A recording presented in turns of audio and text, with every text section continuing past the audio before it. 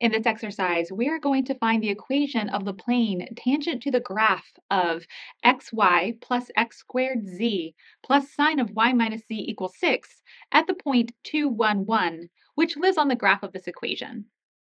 Then we will write down the equation of the line which is perpendicular to that plane through that point. We often call that the normal line. So we'll do two exercises in this video. All right, the thing is, the equation that we are given is, it's just an equation relating x, y, and z. It's not a function. Let me put up a picture of what the set of points x, y, and z, which make this equation true, looks like. So we're looking at something which is a, visualization of a set of points in three-dimensional space, the set of points which, when you plug them into this equation, satisfy that the x-coordinate times the y-coordinate plus the x-coordinate squared times z plus sine of y minus z equals 6. Okay, there are different approaches to writing tangent planes in multivariable calculus, and in this particular situation, only one is appropriate. We do not have a function here that we can try to write down what you might think of as the linearization for. So we are going to take the only good way to uh, write down a tangent plane equation and use it here. And that is, we want to take this equation and reconceptualize it as the level surface of a function of three variables. I'm going to give that function a name. I like to call it h. That's just my particular convention. So let h of x, y, and z. What I need to do with my function is make sure I capture everything to do with the variables. So um, if there were x, y, z terms on both sides of the equation, I would want to move them all onto one side of the equation. It's okay if there are constants remaining on the other side. That's not a problem. In this particular equation, our x, y, and z terms are all grouped together on the left-hand side. So we'll just set h of x, y, and z equal to that left-hand side. So we'll say it's xy plus x squared z plus sine y minus z. Why have I done this? Our equation is now viewed as the level set for this function. It's the level set h equals 6. Let me just write that down. Our equation is a level set in the domain of this function.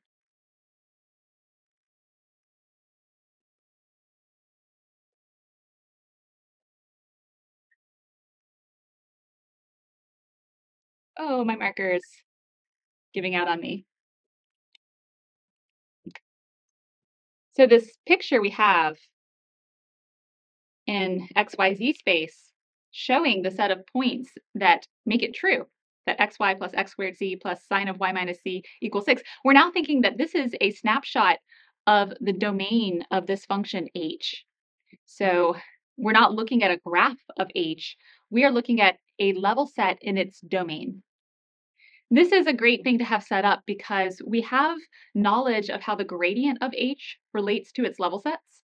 In particular, the gradient of h at the point 2, 1, 1 will be perpendicular to the level set h equals 6, which means it's perpendicular to any plane tangent to that level set. Okay, I'll write that down too. Thus, the gradient of h at 2, 1, 1 is perpendicular to our equation uh, at 2, 1, 1. I'm going to write the surface at 2,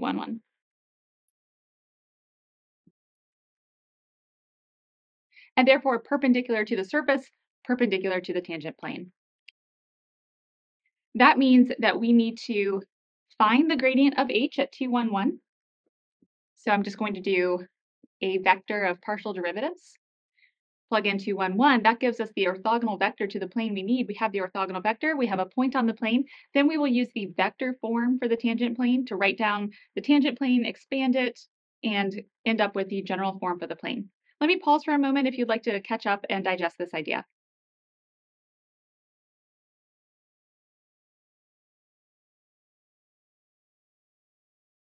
Moving right along, let's compute the gradient of h at the point 2, 1, 1.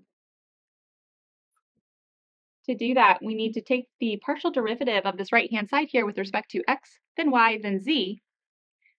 So if I take the partial derivative with respect to x, we get y plus 2xz. You might not like that I wrote down x, y, and z in generality here on the right-hand side, whereas on the left-hand side, I put in the specific values 2, 1, and 1.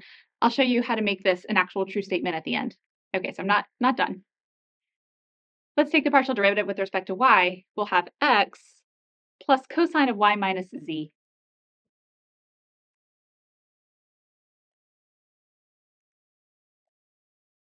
And then with respect to z, we will have x squared plus cosine of y minus z times negative 1 because of the chain rule here. So it's negative z inside. We need to pick up a factor of negative 1. Let's write x squared minus cosine of y minus z. Okay, the comment I made a second ago was, was saying that you shouldn't say this one specific vector is equal to this formula in terms of general x, y, and z. So I'm going to put an evaluation bar here to indicate that I intend for this vector to be evaluated at the point 2, 1, 1. All right, let's do that. When y is 1, x is 2, and z is 1, we get 1 plus 4 is 5. And then x is 2. y and z are both 1, so y minus z is 0. 2 plus cosine of 0 is 2 plus 1. So make sure you know that. The cosine of 0 is 1. And then we have 2 squared minus cosine of 0, so that's going to be 4 minus 1 is 3. So the vector orthogonal to our tangent plane at the point 2, 1, 1 is the vector 5, 3, 3. Let me pause here.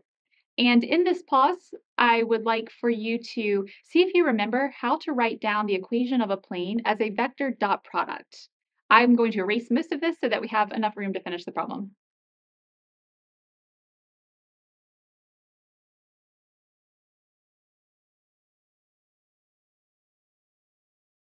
We are now ready to write down the equation of our plane.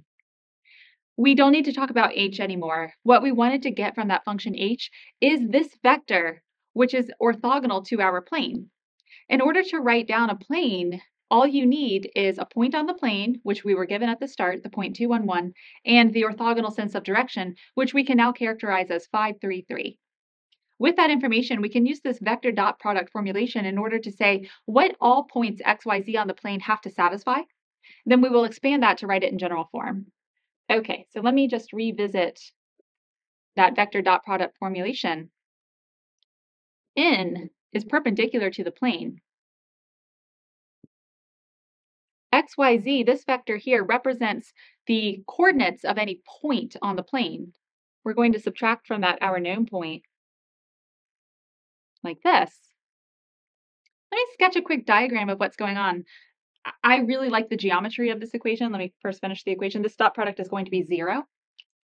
What's happening here is let's say this is our plane with orthogonal vector n.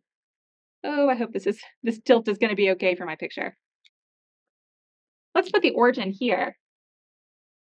So say this is x, y, z. This picture doesn't need to be drawn to scale. The geometry will be communicated through the diagram even if my plane is actually tilted differently. Okay. I said that this XYZ triple represents the coordinates of a point on the plane. So let's say that that point on the plane is here. So just take a representative point on the plane. To write the coordinates of that point as a vector is really to identify the position vector for this point, which starts at the origin and ends at that point. So this vector here is the vector xyz. P is also on the plane. Let me just put that here. The point P is the point 211. The vector 211 is the position vector that starts at the origin and points at P. I'm not totally happy with what I just said. Let me revisit that. A vector is a, a, length and a sense of direction. It doesn't matter where you put it in space. But what I'm saying is that if you have the position vector for point P, we can think of that as the vector that starts at the origin and ends at P. So this vector I'm going to identify as the vector 211. What happens now is if you do this vector minus that one, you create this vector, which is actually flat on the plane. Right, so using the tail to head addition law for vectors, this vector plus that one is this vector. Uh, it looks, you know, with this flat picture, it almost looks like it's coming out of the plane. So please believe that this vector lies flat on this plane, which means it's perpendicular to this vector n. But this equation says more, and actually it needs to. And that is if xyz is any point not on the plane, say it's like down here, just to exaggerate and put it like way beneath this plane, then the, the vector I would create when I did the vector difference of uh, this xyz minus this p, don't want to overcrowd this picture. Let me try to do this kind of light. Okay, say I've got a point not on the plane, and I take the difference of this point and p. I create a vector which, to me in this diagram, looks like it opens up an obtuse angle with n, so their dot product would not be zero. So the dot product of this vector and n is only zero if this corresponds to a point on the plane. Okay, I didn't actually intend to go back through that in this exercise, but I just kind of wanted to revisit it after writing down this equation. We're done. We just need to now fill in the details. So n itself is 533 x minus the vec xyz minus the vector 2, 1, 1 is going to look like x minus 2, y minus 1, z minus 1. This dot product is 0, so now you expand it and you get 5x minus 10 plus 3y minus 3 plus 3z minus 3 is 0. And then traditionally, we're going to group x, y, and z on the left. So 5x plus 3y plus 3z equals 16. Okay, this is the equation of the plane that we were looking for, but we also want to find the line perpendicular to this plane passing through the point P. Let me give you a moment to pause, write this down, and also see if you can go ahead and solve that problem, and I'll come back and show you how to do it in case you got stuck.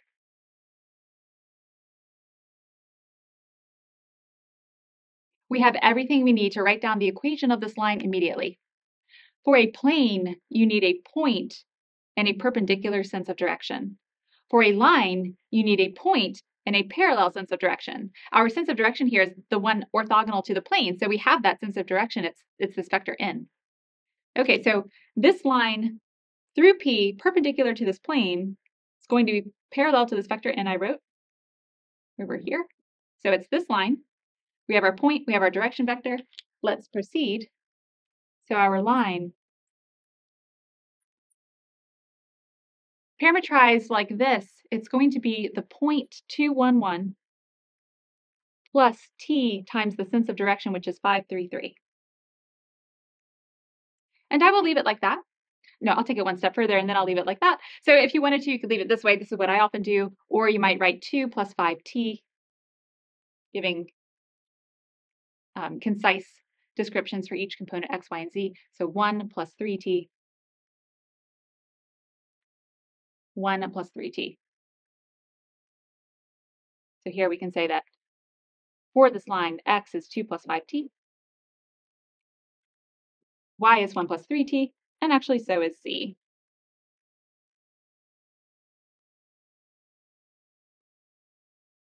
All right, that wraps up this exercise.